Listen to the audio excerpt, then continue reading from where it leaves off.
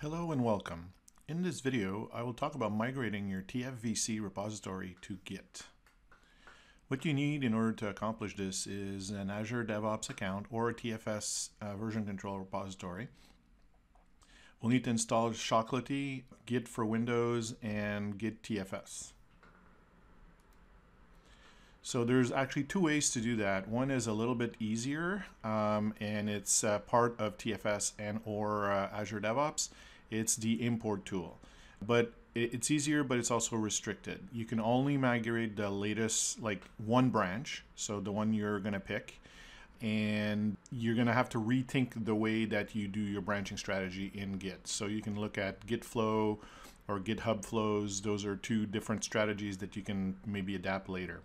This involves a tip migration, so usually you would do a get latest and then you're going to get basically what's in there, but you can go up to uh, 180 days of history if that's what you want to do. As long as you don't have binary assets like large files, scientific data set, game models, and all of that, then you would need to use git LFS, so large file system extension, and your repo shouldn't exceed one gigabyte in size. So all of this information is listed at the URL I, I, have below, and there's a little bit more information as well on how to use this tool. So let's actually do a demo of that.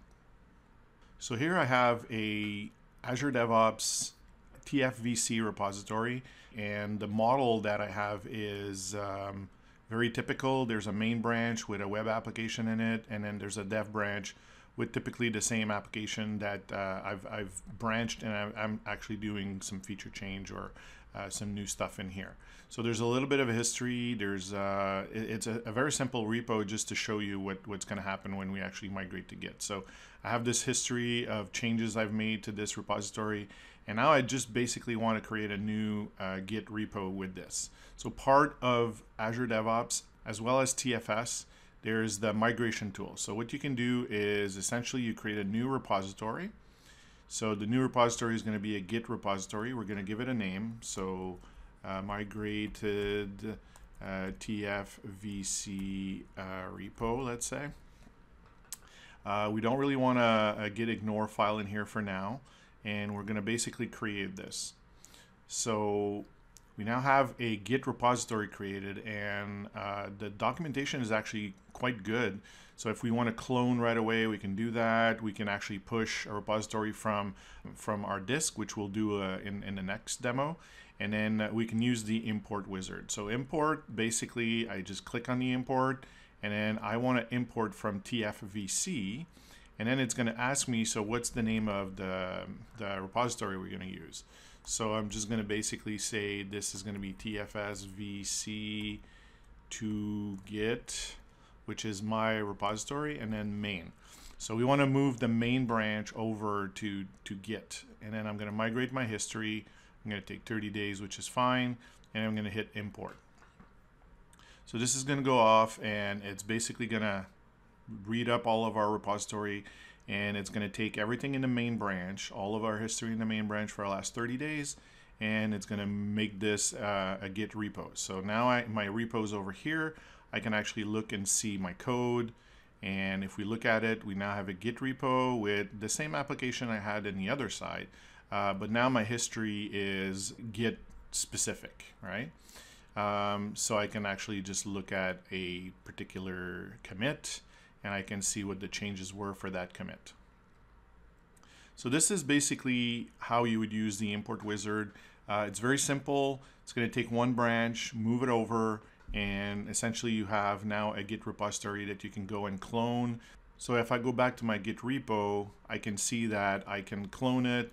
If I want to go here, I can do some forks. I can set up a build for it, and I can do everything that I need to do.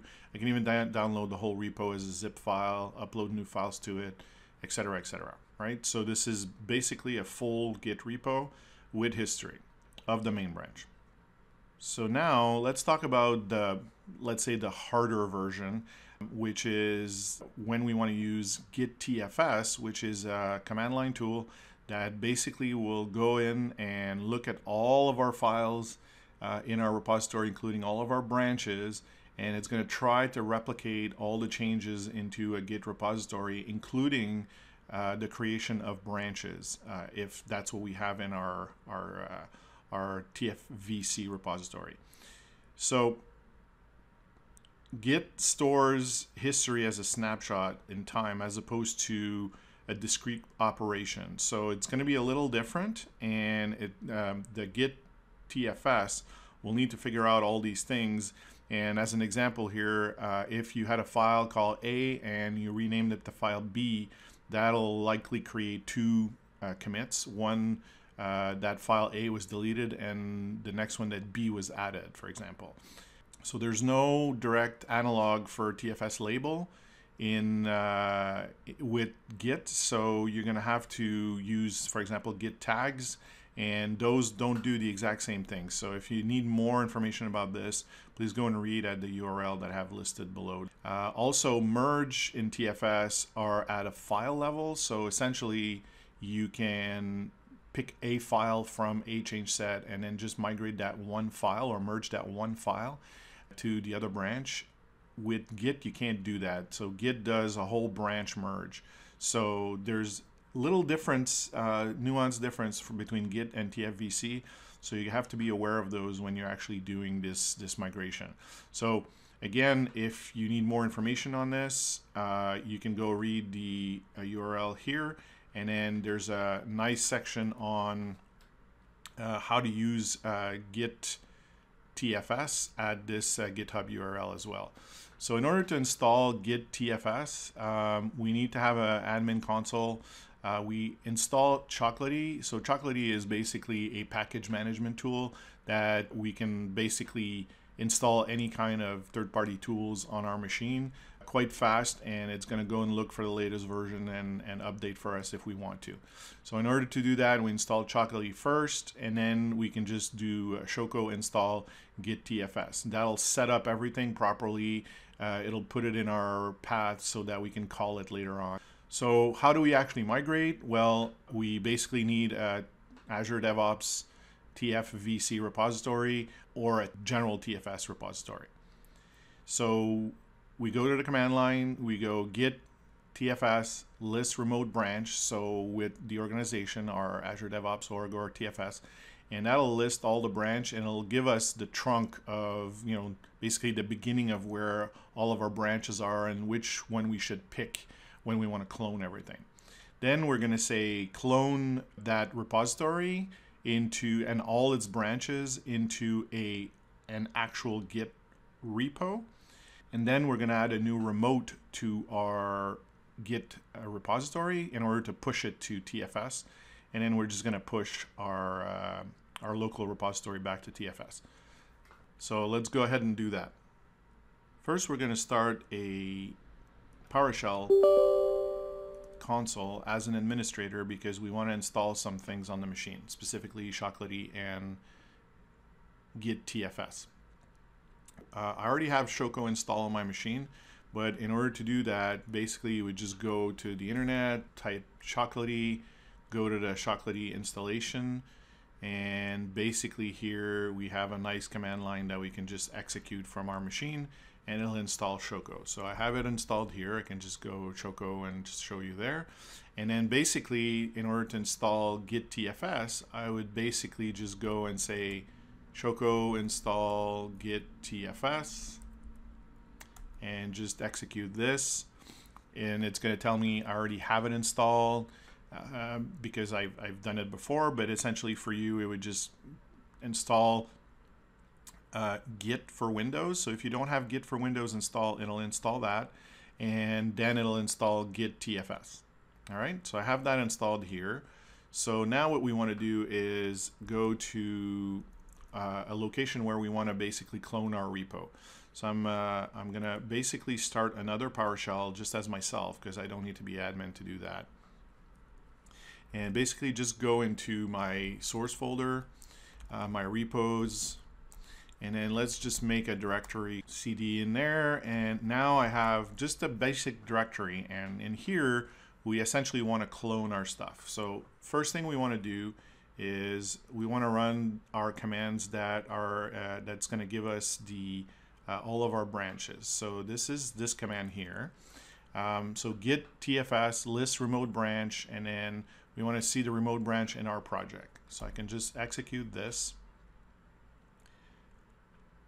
The first time you run that, you'll get a prompt with your credentials. And once you've done it, then it stores the credential and it won't ask me again.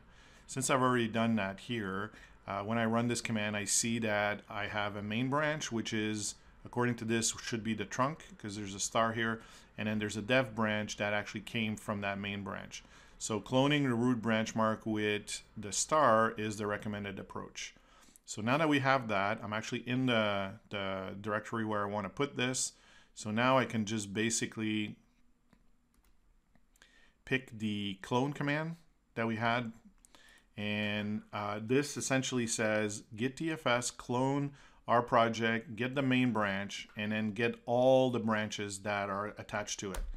So I'm going to run this. This is relatively fast here because obviously I only have eight commits. But this will go through and get all the different commits and all the different branch that you have that are basically off of that main branch here. So that might take a long, long, long while. Once all the changes are found, uh, it basically creates the, the git branches and everything. So if uh, we can see now, we're in the master branch. This is a PoshGit uh, extension for PowerShell, and it tells you which branch you're in and all of that. So if I do a directory on this, we can see that my application is up here. I am in the master branch. But there's no remote for this. This is totally local, and I can work with it as any Git repository locally. Now I'd like to push this repository up to Azure DevOps so that we can uh, basically have a remote attached to it. So how would I do that? I'm going to go back to our project and we're going to create a new Git repository like we did originally. And again, this will create a, a Git repository for us. And now we're going to use the command line tools that we have here. So we want to add a remote, which is this particular repository, and we want to push this stuff. So I'm going to grab those two things. I'm going to go back to my PowerShell here and basically just execute those two lines. So by executing this, I actually added a remote to my Git repository and I pushed all of the code that I have locally up to uh, TFS, including the branches and everything. So now we can see that we have the three little bars here at the end means that the master locally and the remote are equal. Everything's the same. So if we go back to Azure DevOps, we can see that if I refresh this browser, we'll see that we now have, again, a Git repository, but this time if I actually look, we'll see that I have a dev branch associated with it. And if I look at the history here, we'll see that we have more history, as you can see, because in the dev branch, I did a change and I merged it back.